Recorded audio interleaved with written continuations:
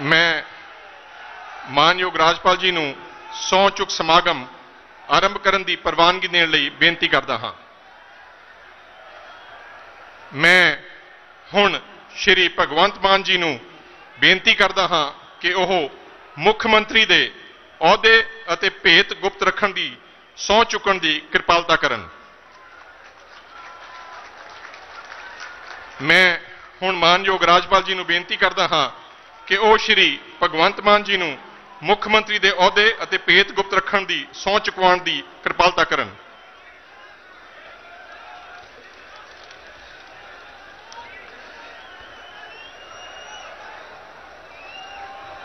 ਮੈਂ ਭਗਵੰਤ ਮਾਨ ਮੈਂ ਭਗਵੰਤ ਮਾਨ ਈਸ਼ਵਰ ਦੀ ਸਹੁੰ ਚੁੱਕਦਾ ਹਾਂ ਕਿ ਮੈਂ ਕਾਨੂੰਨ ਦੁਆਰਾ ਸਥਾਪਿਤ ਭਾਰਤ ਦੇ ਸੰਵਿਧਾਨ ਦੇ ਪ੍ਰਤੀ ਸੱਚੀ ਸ਼ਰਧਾ ਤੇ ਨਿਸ਼ਠਾ ਰੱਖਾਂਗਾ ਕਿ ਮੈਂ ਭਾਰਤ ਦੀ ਪ੍ਰਭੂਤਾ ਅਤੇ ਅਖੰਡਤਾ ਨੂੰ ਬਰਕਰਾਰ ਰੱਖਾਂਗਾ ਕਿ ਮੈਂ ਪੰਜਾਬ ਰਾਜ ਦੇ ਮੁੱਖ ਮੰਤਰੀ ਵਜੋਂ ਆਪਣੇ ਕਰਤੱਵਾਂ ਨੂੰ ਵਫਾਦਾਰੀ ਤੇ ਸ਼ੁੱਧ ਅੰਤਕਰਨ ਨਾਲ ਨਿਭਾਵਾਂਗਾ ਅਤੇ ਮੈਂ ਭੈ ਜਾਂ ਪੱਖਪਾਤ ਸਨੇਹ ਜਾਂ ਦੁਰਭਾਵਨਾ ਬਿਨਾ ਸਭ ਤਰ੍ਹਾਂ ਦੇ ਲੋਕਾਂ ਦੇ ਪ੍ਰਤੀ ਸੰਵਿਧਾਨ ਅਤੇ ਕਾਨੂੰਨ ਨੂੰ ਅਨੁਸਾਰਤਾ ਵਿੱਚ ਨਿਆਂ ਕਰਾਂਗਾ।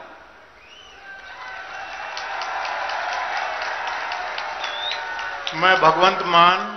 ਮੈਂ ਭਗਵੰਤ ਮਾਨ ਈਸ਼ਵਰ ਦੀ ਸਹੁੰ ਚੁੱਕਦਾ ਹਾਂ। ਕਿ ਜੋ ਕੋਈ ਮਾਮਲਾ ਪੰਜਾਬ ਰਾਜ ਦੇ ਮੁੱਖ ਮੰਤਰੀ ਵਜੋਂ ਮੇਰੇ ਵਿਚਾਰ ਅਧੀਨ ਲਿਆਂਦਾ ਜਾਵੇਗਾ ਜਾਂ ਮੈਨੂੰ ਗਿਆਤ ਹੋਵੇਗਾ, ਉਹ ਕਿਸੇ ਵਿਅਕਤੀ ਜਾਂ ਵਿਅਕਤੀਆਂ ਨੂੰ ਸਿਵਾਏ ਉਸਦੇ ਕਿ ਅਜਿਹੇ ਮੁੱਖ ਮੰਤਰੀ ਵਜੋਂ ਆਪਣੇ ਕਰਤੱਵਾਂ ਦੇ ਠੀਕ ਨਿਭਾਉਣ ਲਈ ਜਿਹਾ ਕਰਨਾ ਲੋੜੀਂਦਾ ਹੋਵੇ, ਮੈਂ ਸਿੱਧੇ ਜਾਂ ਅਸਿੱਧੇ ਤੌਰ ਤੇ ਨਾ ਦੱਸਾਂਗਾ, ਨਾ ਪ੍ਰਗਟ ਕਰਾਂਗਾ। ਇਨਕਲਾਬ ਜ਼ਿੰਦਾਬਾਦ।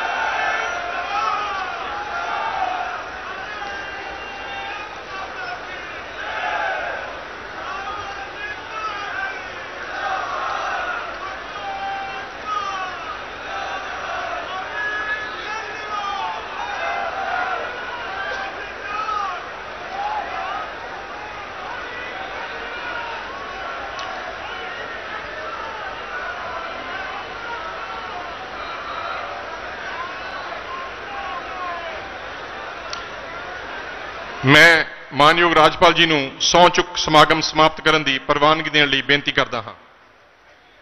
ਮੈਂ ਸਮੂਹ ਮਹਿਮਾਨਾਂ ਨੂੰ ਰਾਸ਼ਟਰੀ ਗਾਨ ਲਈ ਖੜੇ ਹੋਣ ਲਈ ਬੇਨਤੀ ਕਰਦਾ ਹਾਂ।